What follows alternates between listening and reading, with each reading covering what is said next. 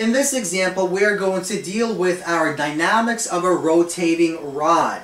So let's suppose that a rod of uniform mass M is attached to a wall by a hinge. So we're holding our rod along the x-axis. The rod has mass M and is attached to the hinge which is attached to a wall. So the hinge acts as a axis of rotation. So if we let go of the rod, the rod will rotate about the hinge which serves as the axis of rotation. So at the moment we let go of our rod, it begins rotating in the clockwise direction.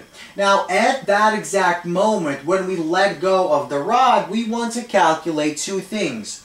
The angular acceleration of the rod as well as the linear tangential acceleration at the tip of our rod. So let's begin with our angular acceleration. So let's make the assumption that the entire length of our rod is given by the capital letter L.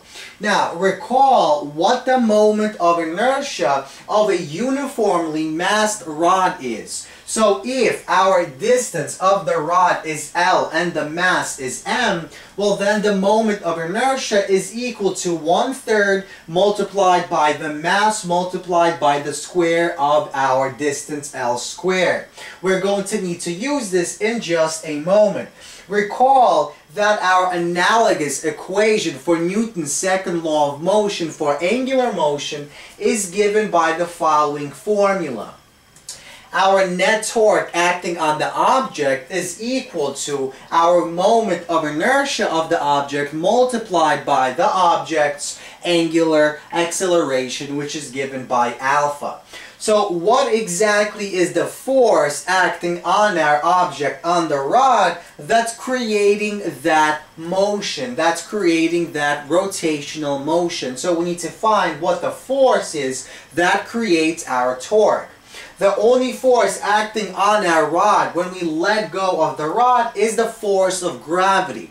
And the force of gravity acts at the center of gravity. And because our object has a relatively small mass, we make the assumption that the center of gravity is the same point as the center of mass right in the middle of our object. So, if the entire length of our uh, object is L, that means the position from the hinge to the center of gravity is L divided by 2. So knowing this information, let's rearrange this equation and solve for our alpha, for our angular acceleration. So angular acceleration, which is what we're looking for, is equal to the torque divided by the moment of inertia. So the moment of inertia is given by this formula. So we substitute this into this I, and then we substitute m times g times our lever arm L divided by 2. So F is simply the force of gravity and F multiplied by the lever arm gives us our torque.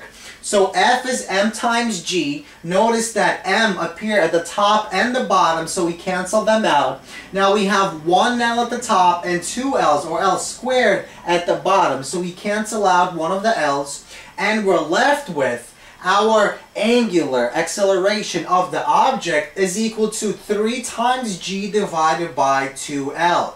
So notice, as the rod begins to rotate its lever arm, the quantity of L begins to change. And that means as our object is rotating, even though the force of gravity is constant, the angular acceleration of the object is not constant. It changes. Now let's look at part two. Let's find the tangential acceleration of the object at the tip. So once again, at the moment that we let go of our rod, the rod begins to rotate and at that moment our tangential acceleration points in this direction in the same direction as the force of gravity. Now the formula of our tangential acceleration that relates our lever arm, our distance, and our angular acceleration is given by this equation. A tangential is equal to alpha multiplied by r. So in this case, our alpha is simply the alpha that we found in part 1. And now r is simply the entire length of our uh, rod. So it's from the hinge to the point where our object is experiencing tangential acceleration. So we have 3g divided by 2l multiplied by l. Notice the l's cancel and we're left with 3 divided by 2 or 1.5g. Now notice a very interesting point.